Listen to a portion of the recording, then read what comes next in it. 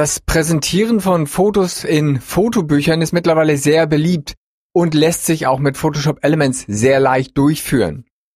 Das Ganze können Sie direkt aus dem Organizer oder dem Editor starten, denn Sie haben hier oben bei Erstellen die Möglichkeit, einen sogenannten Bildband zu erstellen.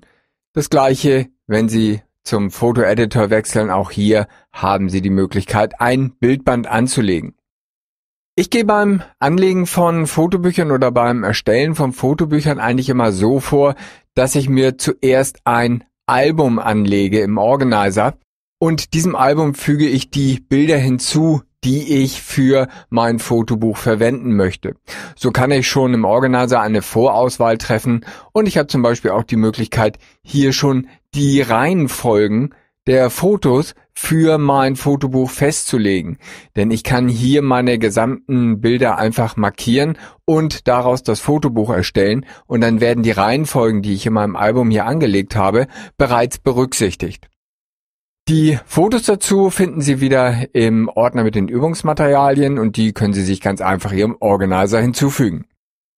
So, jetzt markiere ich die Bilder alle Entweder indem ich hier auf das erste Bild drücke und mit gedrückter Umschalttaste das letzte Bild anklicke oder wenn ich hier von außen anfange, fasse einfach mit gedrückter linker Maustaste einmal über alle Bilder rüber. Danach wähle ich hier Erstellen Bildband aus. Und dann bekomme ich das Dialogfeld angezeigt und jetzt entscheide ich mich, ob ich das Fotobuch selber über meinen Drucker ausdrucken möchte oder ob ich einen Online-Fotoservice benutzen möchte, in der Regel wird man den Weg über den Online-Fotoservice gehen. Das heißt, hier wähle ich das Format aus, was mir hier angeboten wird. Und dann bekomme ich hier bei den Themen verschiedene Voreinstellungen der Layouts angezeigt. Und Sie sehen, hier ist im Grunde genommen für alle möglichen Fotothemen habe ich hier das richtige Layout. Und ich möchte für diese Lektion einmal ein schlichtes wählen. Das heißt, ich wähle mir hier monochrom aus.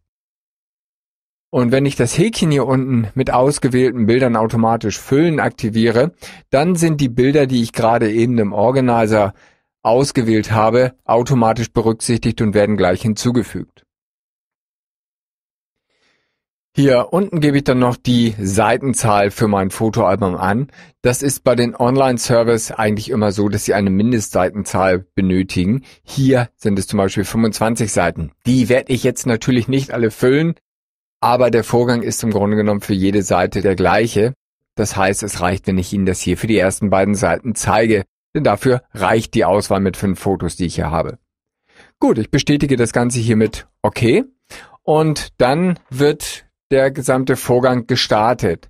Das heißt, das Layout wird berücksichtigt und meine Bilder werden bereits auf den entsprechenden Seiten angelegt. Und dann haben Sie diese Oberfläche hier, Sie sehen das Titelblatt für Ihr Fotobuch und hier rechts sehen Sie die entsprechenden Seiten und bei denen sind die Layouts bereits auch vorgegeben. So, das heißt, ich habe also jetzt die Möglichkeit, meine Anpassungen vorzunehmen. Ich wechsle einfach zwischen den Seiten, indem ich hier in der Voransicht einfach auf die entsprechende Seite klicke und dann wird mir das Ganze hier angezeigt. Ich kann aber auch hier über diese Pfeiltasten gehen. Im Grunde genommen habe ich hier viele Funktionen zur Verfügung, die mir der Editor eh schon zur Verfügung stellt. Das heißt, ich kann hier zum Beispiel die Größen meiner Fotos ändern. Ich kann einen Doppelklick in das Bild reinmachen und dann habe ich die Möglichkeit, zum Beispiel hier den Inhalt von meinem Rahmen noch anzupassen, wie man das aus dem Editor bereits kennt. Ich gehe mal zur ersten Fotoseite, denn das gerade eben war ja die Titelseite. Und hier sieht man, dass hier einiges noch nicht passt. Das heißt, ich werde mich jetzt erstmal darum kümmern. Hier sind zum Beispiel die Bildausschnitte in meinem Rahmen viel zu groß und teilweise passt mir die Reihenfolge hier der Bilder auch nicht. Das heißt, das sind jetzt erstmal Dinge, die ich ändern möchte. Ich werde hier zuerst erstmal hier reingehen und kann jetzt zum Beispiel per Doppelklick hier mir den Slider holen, dass ich jetzt erstmal hier die Größe anpasse. Ich möchte aber eigentlich das gesamte Layout von dieser ersten Seite ändern. Das heißt, ich breche den Vorgang hier einmal ab und wechsle hier zu dem Bereich Layouts hier unten rechts. Und hier habe ich die Möglichkeit, verschiedene Layouts direkt vorauszuwählen und dieses Layout wird dann auf meine Seite entsprechend angepasst. Ich werde hier dieses Bild vollflächig auf die erste Seite setzen Und das kann ich machen, indem ich einfach dieses Layout hier einfach hier drüber auf die erste Seite ziehe. Und sobald ich die Maustaste losgelassen habe, wird die gesamte Seite mit dem Foto gefüllt. Dummerweise ist das Bild jetzt hier gedreht. Das ist falsch. Das heißt, das ändere ich jetzt erstmal, indem ich hier einfach einen Rechtsklick in das Bild mache und sage, dass das Bild um 90 Grad gedreht werden soll. Als nächstes passe ich noch die Größe an. Das heißt, ein Doppelklick in mein Bild und den Slider benutzen, um das Bild entsprechend anzupassen. So, mit dem grünen Häkchen bestätige ich die Angabe hier. So, damit habe ich diese Seite hier fertig und kümmere mich jetzt um diese beiden hier.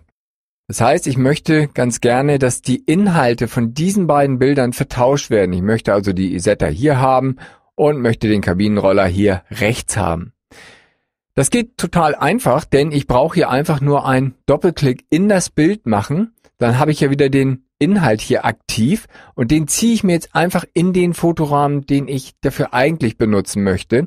Und dann werden automatisch die beiden Bilder ausgetauscht. Klicken, ziehen und dann sehen Sie, bekommen Sie das Symbol am Mauszeiger. Wenn ich jetzt die Maus loslasse, dann sind automatisch beide Bilder hier ausgetauscht und ich kann jetzt hier meine weiteren Anpassungen vornehmen. Das geht also sehr einfach. So, damit habe ich diese Seite auch bereits fertig und gehe wieder zurück zur ersten Seite, also zu meiner Titelseite. So, jetzt kann ich hier noch meinen Text angeben. Dazu zoome ich mal ein wenig in die Ansicht rein. Und mit gedrückter Leertaste kann ich jetzt mich hier auf dem Titelblatt bzw. auf der Titelseite bewegen. Ich möchte jetzt hier den Text ändern. Dazu mache ich einfach einen Doppelklick hier in den Text rein und dann kann ich den Text mit der Maus hier markieren. Den Text hier, den nenne ich mal Oldtimer, denn so soll mein Buch heißen. Das bestätige ich hier. Und den Untertitel, den brauche ich nicht, den markiere ich einfach und mit der Rückschritttaste lösche ich diese Textebene einfach. So, dann gehe ich wieder meine komplette Darstellung zurück mit Steuerung 0. Jetzt möchte ich noch die Schrift hier von dem Text ändern. Dazu klicke ich wieder doppelt auf den Text drauf und markiere mir noch einmal den Text. Und jetzt habe ich hier die Möglichkeit, den Text, die Schrift erstmal zu ändern. Und zwar werde ich mich hier für die Schrift Impact entscheiden. Die habe ich bei I, natürlich. So, hier Impact und ausgewählt und dann habe ich sie hier auch schon bestätigt. Die werde ich mir jetzt noch ein bisschen größer ziehen. Achten Sie darauf, wenn Sie einzelne Elemente in Ihrem Fotobuch verschieben, dass Sie nicht über diese grünen Linien rübergehen, denn so eine Buchseite wird ja gedruckt und dann wird sie vom Anbieter entsprechend abgeschnitten an diesen Stellen.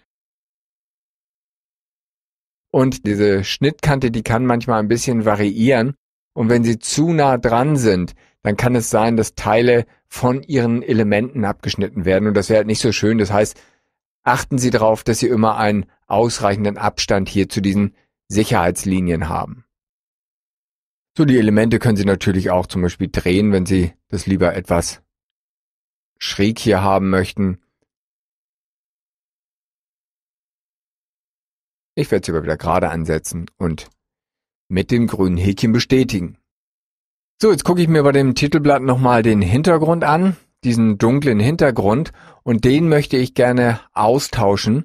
Dazu gehe ich hier rechts in den Bereich Grafiken und hier habe ich ganz oben verschiedene Hintergründe, die ich mir einblenden oder ausblenden lassen kann. Das kennen Sie sicherlich auch schon von anderen Lektionen. So, und um einen anderen Hintergrund hier auszuprobieren, kann ich den einfach nehmen und direkt auf meine Seite ziehen und Sie sehen, wie das dann gleich entsprechend angepasst wird. Der gefällt mir noch nicht ganz so gut, aber grau hätte ich schon ganz gerne und ich nehme einmal diesen hier und werde meinen Hintergrund hier anwenden. Jetzt werde ich noch einen kleinen Bildrahmen und mal ein Bild von der Titelseite erstellen. Das kann ich hier ebenfalls machen, indem ich hier einfach per Drag and Drop den Bildrahmen einfach hinzufüge.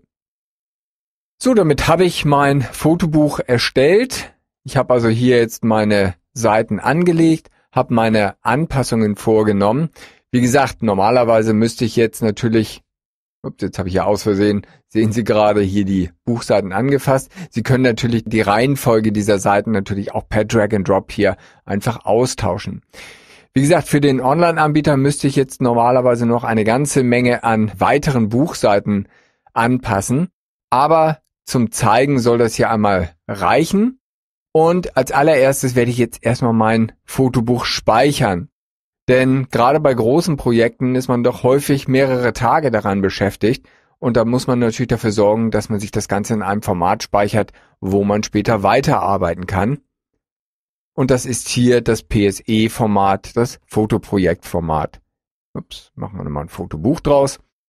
So, das speichere ich mir auf dem Schreibtisch und dann kann ich jederzeit diese Datei per Doppelklick wieder öffnen und an meiner Stelle weiterarbeiten.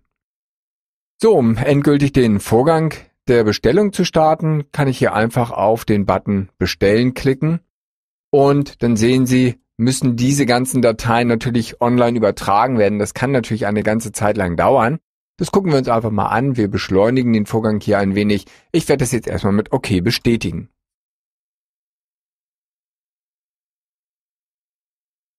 So, wenn der Vorgang abgeschlossen ist, dann komme ich auf das eigentliche Bestellformular und hier wird man Schritt für Schritt angeleitet, damit Sie Ihr Fotobuch bestellen können. Hier können Sie zum Beispiel die Menge der Fotobücher angeben. Sie können also in einem Rutsch auch mehrere Fotobücher erstellen lassen. Hier bekommen Sie die Preise entsprechend angezeigt und dann geht das hier Schritt für Schritt weiter. Den Vorgang werde ich jetzt hier nicht zeigen. Hier gibt's auch nichts weiteres zu beachten, denn hier werden sie, wie gesagt, Step by Step angeleitet.